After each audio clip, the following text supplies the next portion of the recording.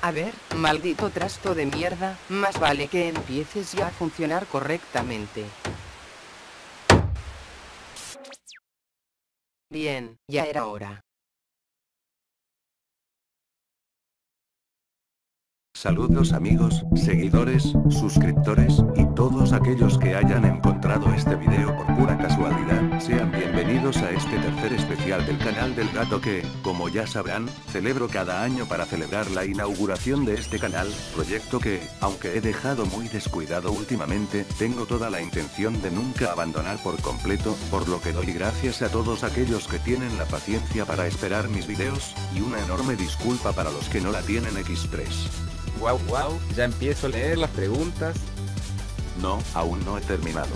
Otro año se nos va, un año lleno de grandes noticias y revelaciones de algunos mangas, además de que Haiku Studios finalmente es una empresa constituida, vamos viento en popa, y culminaremos este año con nada más y nada menos que 6 juegos publicados en iOS con sus respectivas versiones en Android, les recomiendo descargarlos y jugarlos, dejo el link en la descripción del video jeje.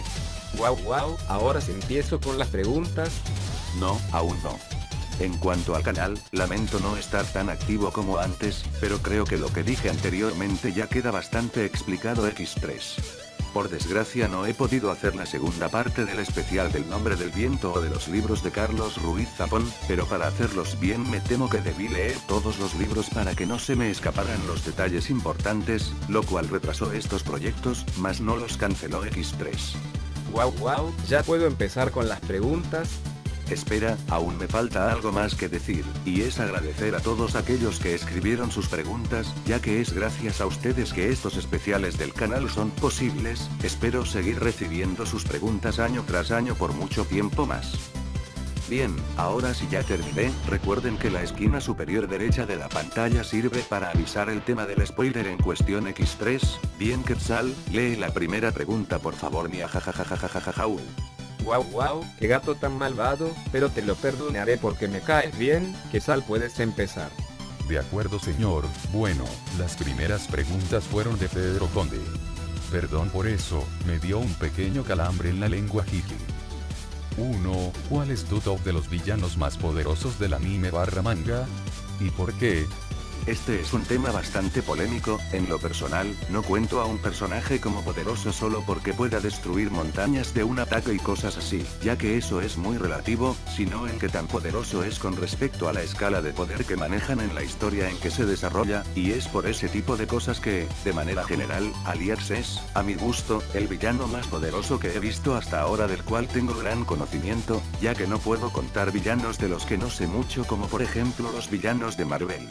Pero tu pregunta es respecto a anime y manga, así que en este aspecto creo que estarían, de menor a mayor, Hijiko de Medaka Box, Kaguya en Naruto, Makoto Shishio de Kenshin y Bills de Dragon Ball. 2. Esto es una simple suposición, pero en la guerra de Marineford Luffy es llamado de diferentes formas Mugiwara conocidos, novato gran parte de la marina, Mokoso Shirohige e hijo de Dragón Akainu.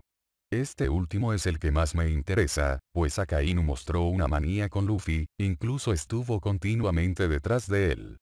¿Qué piensas? ¿Crees que exista una relación entre Akainu y dragón? Si es así, solo puedo pensar en estas tres opciones. Un dragón fue parte de la marina, pero desertó, por lo que Akainu lo considera un traidor. Dos Dragón y Akainu tuvieron una batalla en el pasado, pero este último perdió en frente del futuro líder de los revolucionarios. 3 Dragón consiguió el amor de la mujer mamá de Luffy que Akainu amó, en esta no estoy muy convencido, pero es su ampiece, por lo que todo puede pasar, jaja, y eso sería todo. Es un punto realmente interesante y que no vi en su momento. En lo personal, creo que se trata de una combinación de tus dos primeras teorías, es decir, Dragón fue un marino, tal cual seguramente lo quería su padre Garp, pero debió de haber descubierto algo escondido en el gobierno mundial, seguramente relacionado con el mismísimo Gorosei, y por ello desertó y fundó a los revolucionarios, momento en el que tal vez se enfrentó a Kainu cuando este aún no era almirante y el perro rojo fue derrotado, razón por la cual parece odiar bastante a Dragón más allá de solo por ser líder de los revolucionarios. En cuanto a tu último punto, la verdad lo dudo mucho, One Piece no parece querer torcerse hacia esos rumbos X3. Wow, wow, ahora sí voy yo. The One Piece. Hola gatito malvado, me alegra que continúes con este especial, es muy original y entretenido. Bueno aquí van mis preguntas, en el episodio 585 del manga, el flashback de Luffy, a partir de la página 12, los tres hermanos gritan sus sueños para el futuro, pero no se muestra lo que gritó Luffy, ¿cuál crees que es ese sueño que Oda nos oculta? Lo sabremos al final de la serie. ¿Qué opinas? En lo personal, creo que Luffy estaba diciendo lo de siempre, que sería rey de los piratas, solo que al ser aún un niño el sueño sonaba aún más descabellado que cuando crece, y al parecer por la reacción de Sabo y Ace al escucharlo, creo que lo confirma, pues Sabo se ríe y Ace se muestra un poco más serio, quizás se sentía un poco incómodo porque el sueño de Luffy implica encontrar el tesoro del padre de Ace, con el cual el futuro puño de fuego siempre se mostró resentido.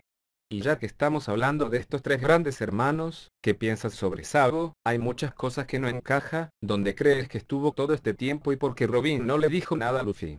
Estas son mis preguntas, te deseo lo mejor para que continúes con este gran proyecto y tus increíbles teorías, saludos.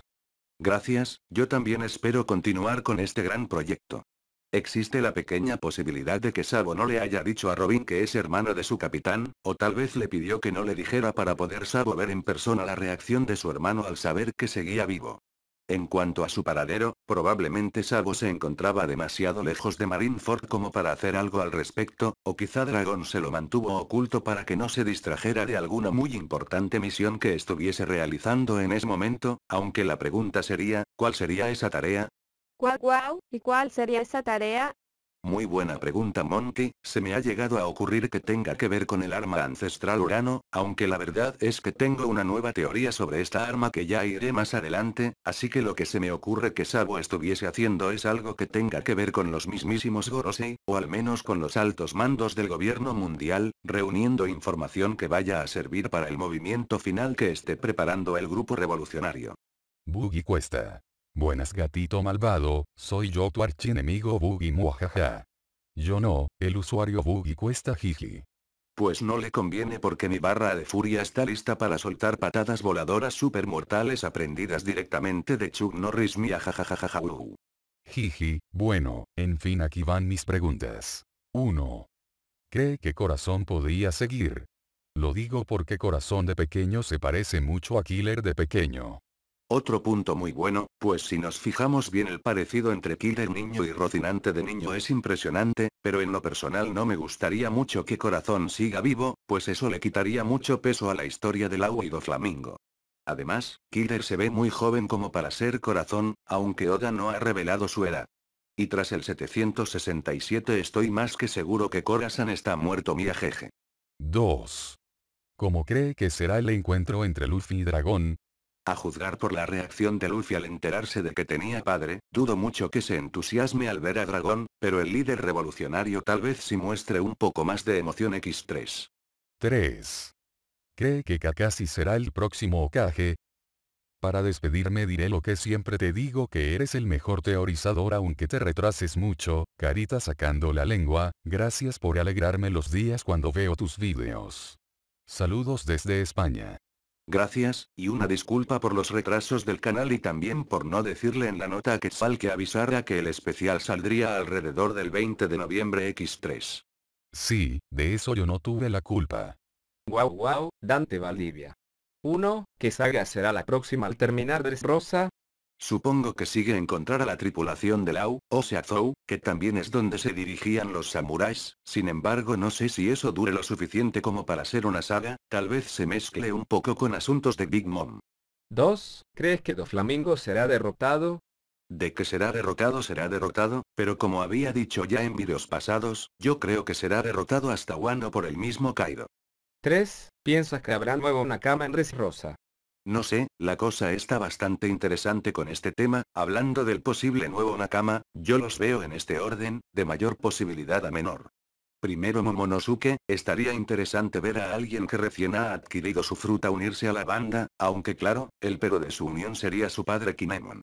Mi siguiente candidato ya es algo un poco más descabellado, pero gracias a algo de información que nos proporciona el Nakama Goliath 19 podemos ver algo de probabilidad a su unión, hablo de César. Su principal contrariedad para ser un Mugiwara son sus experimentos en Pancazar, sin embargo en una ocasión se mostró a Chopper admirado por los logros de este personaje. Por ahí he visto que algunos dicen que César no podría ser Nakama porque es doctor igual que Chopper, sin embargo César no es doctor, es algo muy diferente. César es químico, y así como Frankie y Usopp hacen buena dupla, César y Chopper podrían hacer un buen equipo también. Otro punto que he visto que usan para decir que César no puede ser Nakama es que no tiene un pasado triste o un sueño que perseguir, lo cual honestamente se me hace algo muy estúpido, pues el que el personaje no haya sido explorado a fondo no quiere decir que no tenga un pasado o un sueño. Aunque claro, al final Oda tiene la última palabra X3. Por el momento esos son mis candidatos fuertes a Nakama X3. 4. ¿Qué opinas de Sanji y los demás Mugiwaras que le pasó? Aquí viene otra teoría larga X3. Existen dos posibilidades. Que se estén dando con todo con los piratas de Big Mom, con un Sanji vs Tamago y Chopper vs Pecoms. La otra posibilidad es que gracias a la Biz Cardenami se vuelvan aliados al enterarse que salvaron a la hija de la Yonko, claro, suponiendo que Lola es realmente hija de Big Mom, de lo cual estoy bien seguro X3. Esto podría desencadenar un escenario muy interesante en donde los Mugiwaras terminen enfrentándose a la que a partir de ahora llamaré la Alianza de Kid. Como ya he dicho anteriormente, yo creo que el Yonko al que están enfrentando esta alianza es Big Mom, esto basado en lo que dijo Tamago en la isla Hyojin, por lo que podríamos ver un gran enfrentamiento con las siguientes peleas. Obviamente Luffy vs Kid y Zoro vs Killer, además de que me gustaría ver un Sanji vs Hawkins, pues hasta ahora el cocinero pirata no ha tenido una pelea digna, y otro buen enfrentamiento sería entre los músicos de cada bando, Brook vs Apono. Carlos 7542 Solo tengo una pregunta ¿Crees que Naruto se ha alargado mucho y crees que tendrá un buen final? Creo que debí especificar que el vídeo saldría el 20 de noviembre X3. Bueno, sí, creo que se alargó innecesariamente, pues a pesar de que la pelea contra Kaguya me gustó mucho, su aparición se me hizo demasiado forzada y sin sentido. Para mí, Madara debió haber sido el enemigo final. En cuanto al final, me gustó, pero si lo sentí muy corto, le dieron mucho tiempo a las batallas finales, pero a la de Naruto contra Sasuke la pasaron muy rápido y el final se sintió como si tuvieran prisa por concluir la historia.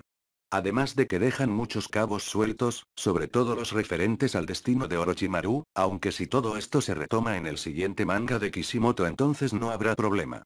Solo fue una pregunta, te doy permiso de leer otro comentario ¿qué tal? ¿En serio? Muchas gracias señor. Santiago Santos Bueno estas son mis preguntas, carita de gato. ¿Crees que a Sanji se le rompa una pierna, ya que en Pancasart se la fracturó y por ello tenga que comer alguna fruta del diablo? Estaría interesante que el cocinero se comiera una fruta, pero no creo que pase, aunque sí podría darse la posibilidad de que a Sanji se le termine de romper la pierna, pero no le veo mucha justificación a que por eso se coma una fruta. ¿Cuál es tu personaje favorito de One Piece? De todo One Piece, creo que Lau es el que está mejor trabajado. Aunque Doflamingo no se queda para nada atrás X3. ¿Cuál es tu libro favorito? Si tuviera que elegir solo uno, creo que sería El Príncipe de Maquiavelo, aún no puedo creer que haya vivido tantos años gatuno sin haber leído tan magnífica tesis X3. Wow wow, Lisa M. ¿Cómo será el One Piece? Guau guau, me parece que algunas preguntas ya las habías respondido hace tiempo. Sí, quizá no habían visto los vídeos. O tal vez son muy huevones y no quisieron hacer mejores preguntas. Miau Ayil no insultes a mi público. Bueno, como ya había dicho antes, creo que el One Piece es el arma ancestral Plutón, o sea el oro Jackson, y el río Poneglyph. ¿Luffy será el rey de los piratas? De eso no cabe duda, pero tal vez eso sea poco antes de la batalla final contra el gobierno mundial. David Boy 1990. Bienvenido gato. Ya hacía tiempo que no sacabas tus vídeos. Aquí van mis preguntas espero no truene, carita de gato. 1. ¿Qué opinas del final de Naruto? Aunque ya seguramente te han preguntado. En efectivamente, ya me preguntaron eso X3. 2. ¿Cuál es tu impresión acerca del Aki de Usopp? ¿Por qué es Aki no? Sin duda es Haki, pero es una variación muy curiosa. Al principio, creía que era una especie de Byakugan, pero luego me di cuenta de que en realidad lo que hizo Usopp fue usar el haki de escuchar como si de un sonar se tratase, por lo que técnicamente vio a Luffy y los demás con sonido, cual murciélago X3. Una variación muy interesante y útil para un francotirador que sin duda dará gran sabor a su enfrentamiento contra Van Auger. 3. Tengo la impresión de que en cada isla a partir de ahora va a haber un fanático de Luffy y su tripulación como lo es Bartolomeo en Dressrosa. ¿Qué dices tú? Qué difícil escoger preguntas no genéricas para hacer. Jajaja bueno un saludo. Es muy probable que gracias a las hazañas de Usopp en Dressrosa, en las islas se puedan ir encontrando con fanáticos que les echaran la mano y que sin duda volveremos a ver en la batalla final contra el gobierno mundial, más o menos como pasó con la guerra en Naruto. Wow wow, eligió Hernández. Me sumo a los comentarios que agradecen tu trabajo, de verdad tus videos me agradan bastante. Así que, gracias. Ahora bien, aquí están las cuestiones. Uno he pensado que en esta saga no será derrotado Mingo, sino que tendrá que abandonar Dressrosa y acudir a Kaido para un contraataque a los sombreros de paja. ¿Qué posibilidades ves en ello? Asimismo, Lao está separado de su tripulación, así que, me parece, la batalla decisiva contra los dueños del Smile será fuera de los dominios de Doflamingo. Como ya he dicho, yo opino igual, el enfrentamiento final contra el titiritero será en Wano, donde también participaría Moria. Y como cambien ya he dicho, yo creo que Lau y los samuráis los acompañarán hasta Zou. 2. En relación a las alianzas en contra de los Yonkou, ¿crees que Shanks sea el elegido por Capitán Kid y compañía? Lo menciono porque si consideramos los temperamentos, son por completo opuestos. Además, Kid quiere acabar con Luffy sería un buen argumento para que creciera la enemistad, aunque Kid no conozca la relación entre el pelirrojo y Luffy, este último no tiene nada en contra de Kid, por lo cual, podría ser el evento detonante. Es una buena posibilidad, pero como ya dije, yo creo que Big Mom es el objetivo del atípico grupo de supernovas. 3. Por último, en las grandes batallas que se aproximan, sea Kaido Big Mom, ¿crees que Aokiji ayude en combate a los sombreros de paja? Algo parecido al film Z, aunque sea solo para salvarles el pellejo una vez. No he visto Z, y es poco probable que lo haga, pero sí, yo creo que Aokiji los ayudará, sobre todo al momento de enfrentarse a Akainu. Gracias otra vez. No hace falta que aparezcan en el video, si me respondes por aquí será suficiente. Pues lástima, ya están en el video mía jajajajajaja uh, pero qué gatito tan malvado soy X3. Abiel Menda. Bien, ya regresaste Peto Amo espero verte más activo por aquí XD. Gracias, yo también lo espero X3. 1. ¿Qué cara pusiste al ver el verdadero nombre de Lau?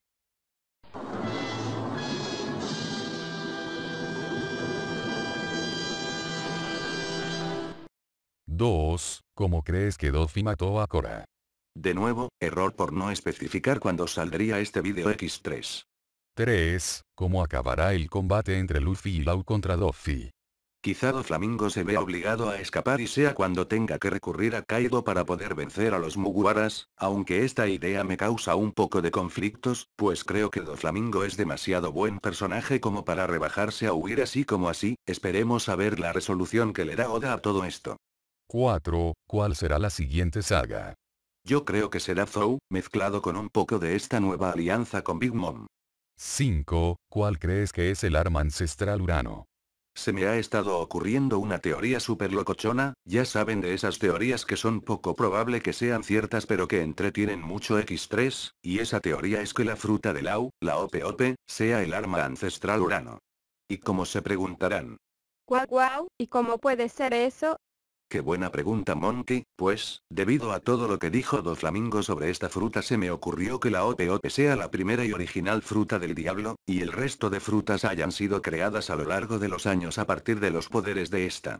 Una teoría bastante rebuscada y locochona X3. Bonus. ¿Cada cuánto tiempo haces caca jajajaja? El que se ríe no soy yo, es parte de la pregunta. Por favor no respondas esa pregunta. No te preocupes Yale, no pensaba contestarle X3. Guau guau, qué asco. Pero si te he visto comerte tus propias cacas. Guau guau guau, eso sí da asco. Guau guau, déjenme en paz. Saludos amigo gatuno, sigue así carita guiñando el ojo. Guau guau, Alfred Gordon.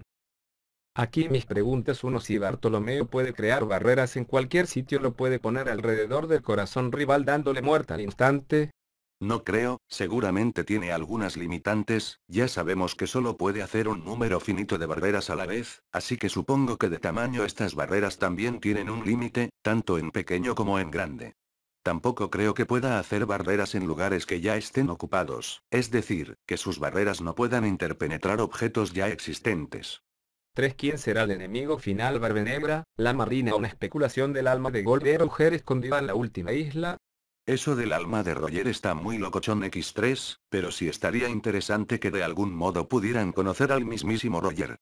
Regresando a la pregunta, como ya he dicho antes, yo creo que el gobierno mundial será el enemigo final de esta historia, principalmente el Gorosei. Goliath 19. ¿Qué tal compa a los años que te dejas ver? En primer lugar muchas gracias por promocionar mi video, espero que te haya gustado. En fin aquí están mis preguntas 1. ¿Qué opinas sobre la noticia reciente de que Naruto terminara en noviembre? Creo que ya no tiene mucho caso que sigan leyendo preguntas referentes al final de ese manga. Coincido con Jill X3. 2. ¿Qué crees que haya pasado con Burgués? Luego de los eventos transcurridos en el Coliseo Corrida, no recuerdo si te lo había comentado a ti por Facebook, pero en su momento me pareció buen candidato para enfrentarse a Diamante, pues la verdad no me gustaría que Kiros por sí mismo lo derrotase, me parece un enemigo demasiado importante para esta saga como para que un secundario recién aparecido lo derrote por sí solo. Ojo, no es que menosprecie a Kiros, es solo que no lo siento tan importante como para que haga esta proeza por sí solo. 3. ¿Qué opinas sobre la posibilidad de que en esta saga Don Flamingo sea derrotado definitivamente? Muchas gracias por tu atención, saludos. Como ya he dicho, no creo que sea derrotado definitivamente en esta saga, sino que será hasta Wano. Postdata quisiera informarles a todos los usuarios que ya estoy trabajando en mi siguiente parodia musical, espérenla. La estaremos esperando con ansias, y a aquellos que quieran darse una vuelta por el canal del Nakama Goliath, les dejaré el link en la descripción del video. Wow wow, Ángel Lessing. Bienvenido gato malvado que bueno que estés de vuelta hacía falta un buen teorizador como tú, aquí mis preguntas. 1. ¿Qué opinión Ah sí, ya no tengo que leer preguntas del final de Naruto, me las saltaré. 2.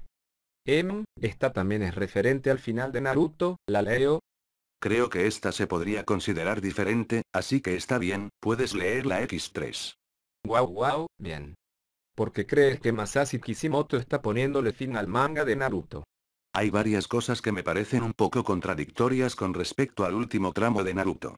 Primero, en la guerra, a mi parecer se extendió lo que debía extenderse, pues se exploraron muchos otros personajes secundarios de buena manera, pero al mero final añadieron a un enemigo final que no encajaba en el transcurso de la historia, eso sintió que el manga se estaba alargando innecesariamente, pero después de derrotarla el final del manga llegó demasiado rápido, y el epílogo muy corto, como si tuvieran prisa por acabarlo, como si al principio hubieran latigueado a Kishimoto para alargar el manga y luego se hubieran arrepentido X3. 3. ¿Crees que ahora Narusaku Yaku Naruto se muere por la XD? Saludos de Perú. Por fortuna, Naruto se quedó con Hinata y no con la pelirrosa a la que le falla la sinapsis de sus neuronas X3. Vasnaya Jiménez. 1. Lees cómics. Hace poco hubo una época en que seguía muy de cerca los cómics de Marvel, concretamente desde Civil War hasta Secret Invasion, sin embargo el combate entre Thor y Sentry fue espantosamente decepcionante. Digo, el combate entre Sentry y Hulk fue totalmente épico, posicionándose entre mis combates favoritos de todos los tiempos, pero el combate final del asedio fue soso y para nada épico, por lo que le perdí totalmente el interés a las sagas de esta casa de cómics y ya no sé en qué va su historia X3. 2. ¿Cuáles son tus villanos favoritos manga y cómics? En cuanto a manga, sin lugar a duda el primer lugar se lo lleva padre, de Full Metal Alchemist Brotherhood, luego seguramente estaría Doflamingo de One Piece y Makoto Shishio de Kenshin. En cuanto a cómics como ya dije antes, no hay ningún villano que conozca lo suficiente como para incluirlo en favoritos.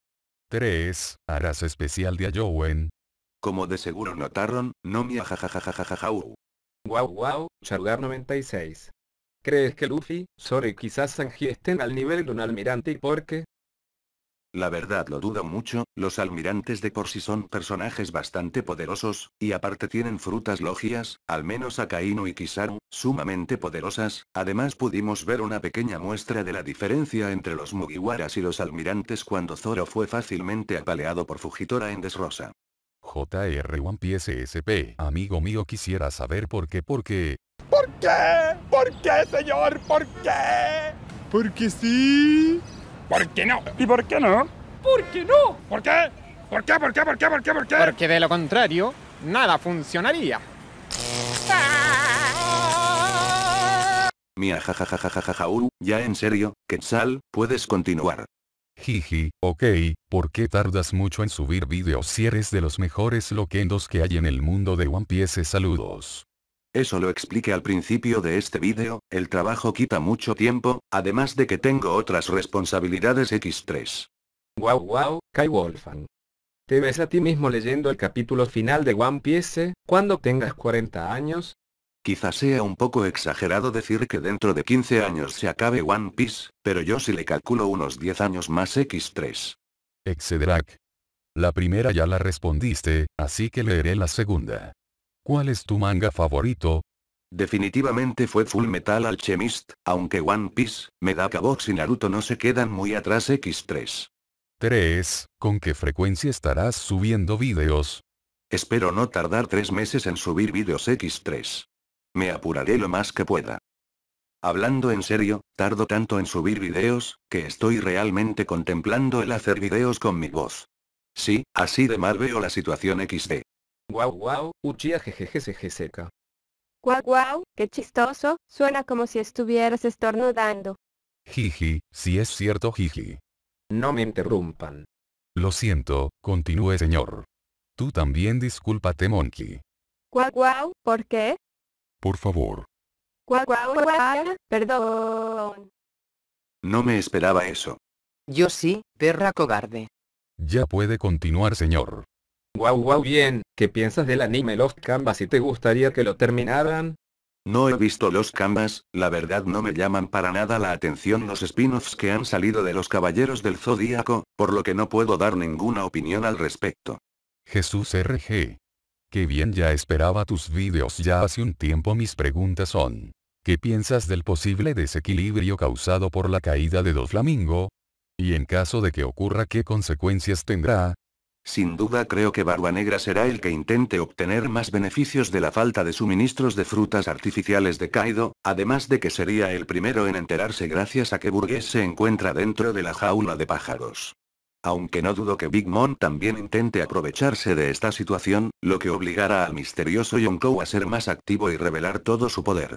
La última ya se respondió, así que no la leeré jiji.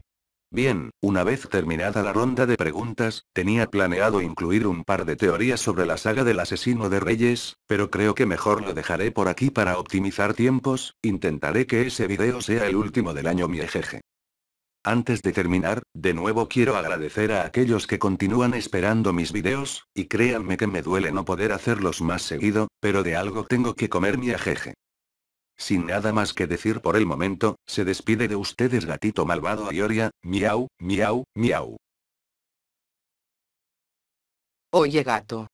Sigil, ¿Quién carajos es el perro que viene con Quetzal? em cierto, Quetzal, ¿quién te acompaña? Oh perdón, olvidé presentarlo, él es su excelentísima Momotaro, el príncipe de los duraznos. Así es, que Sal me dijo que sería divertido estar aquí y ayudar con este video, y realmente lo disfruté, pero ahora es hora de irnos, súbdito mío. Como ordene su excelentísima. Bien gato, si de verdad tenías un plan para deshacerte de Quetzal creo que es el momento de que me lo digas, no quiero tener que lidiar con el pendejete de su perro que se cree realeza durazno. Mia jajajajau, no te preocupes Yale, este plan no puede fallar, solo escucha. Es el plan más pendejo que jamás haya escuchado. Mia uua, no te preocupes, funcionará Mia jajajajajajajajajau.